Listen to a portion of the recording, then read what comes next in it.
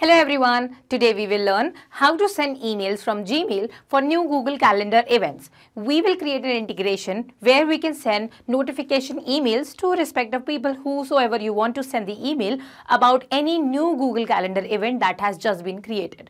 We will create this automation with the help of Pabbly Connect where our trigger is going to be an event created in our Google Calendar and our action will be to send an email through Gmail.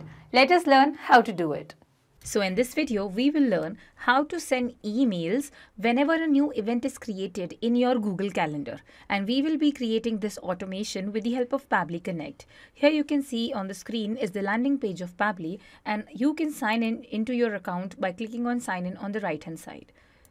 And if you don't have an existing account, you can click on sign up for free. And this way I am logged in into my account and I will just now click on access now that's given below Pabbly Connect because we are going to use Pabbly Connect for, to create this automation. After this, I will reach the dashboard of Pabbly Connect. Here I have to click on this big blue button where it's written create workflow and give a suitable name to my workflow. Send emails from Gmail for new events created in Google Calendar. Click on create and then a blank workflow will be created for you. Here you can see two boxes. One has trigger written over it and the other has action.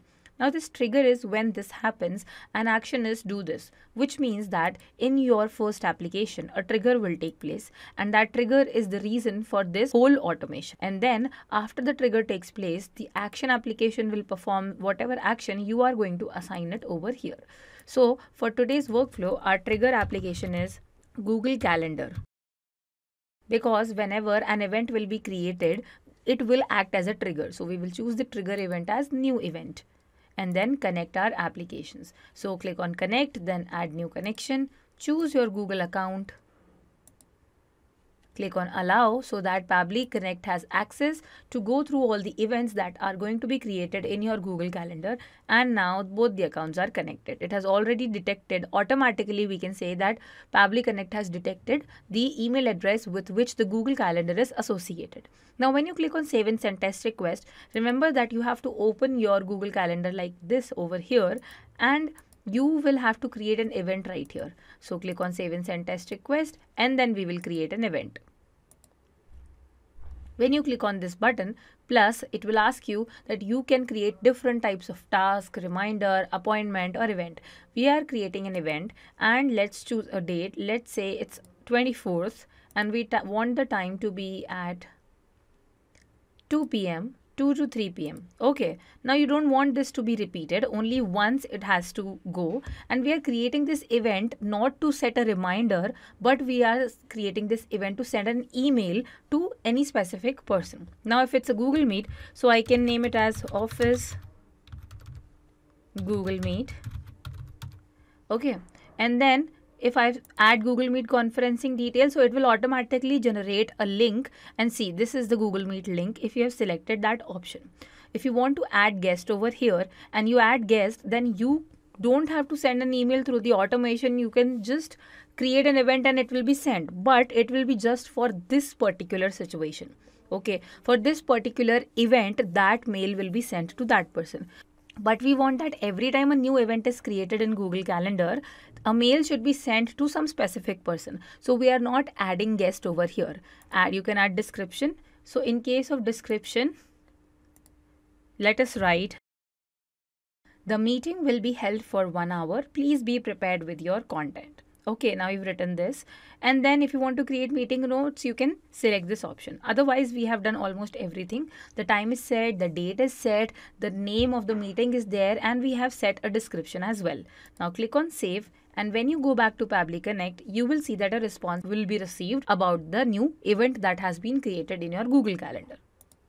See, the response is already here. Once we clicked on save, we received the response here.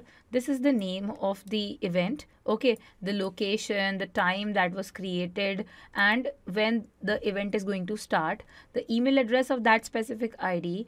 Then we have the description right here and we will be having the Google Meet link as well. Okay, so everything is over here. So we will just save this step because we will use all this content to send the email. Okay, now we will choose our email application as Gmail that will be our action application and the event is going to send an email okay now again both are google applications so just connect with your google account choose your account click on allow so that Pabbly Connect has access to the Gmail as well. Do not worry, Pabbly Connect is 100% safe. Now the first thing that comes in front of you is the recipient email address. Without it, no email can be sent. Why? Because that is the destination of the content. So you will enter the email address of that specific person whom you want to share your Google Calendar with or whom you want to send these email notifications about every new event created in your Google Calendar. So let's say that I have a colleague in my office. I want him to know about it. So I will just enter his email address Now this is the email address of my colleague and whenever I create a new event in my Google Calendar, I want him to know so that he will be aware of the events that are taking place. In CC and BCC, you can add more number of email addresses if you want more than one person to know about it. Okay, now sender name is, I can say team lead okay i'm the team lead and i'm sending this to my employee. Email subject so you can map the email subject now. These were the things that we were entering. They were static. Okay they're not going to change for any given case. But email subject might change. It might be some other event. Every time it's not going to be an office google meet right? So we will map the title of the email or the title of the event. Why? Because this time it is Office Google Meet. Let's say next time it is some other meeting or some lunch party or something else that is going to take place in the office. So in the same way, it will occur as that name of that specific event. Okay. The email content is going to be plain only. Okay. No HTML is there. Now you have to enter the content. So let's just write dear employee comma and now you want that your text should appear in the next line. So what are you going to put? Backslash and n okay? This does the work of the enter key on your keyboard. And you keep writing without even giving space after this. And what are we going to write? We are going to write the description. So let's map the description. Again you want backslash and n okay? So please join through the given link okay full stop. And then now you will map it by putting first backslash and n and you will map the link of the Google Meet. That is over here hangout link. Okay this is the Google Meet link. And then we'll again put slash and n and then we'll write regards.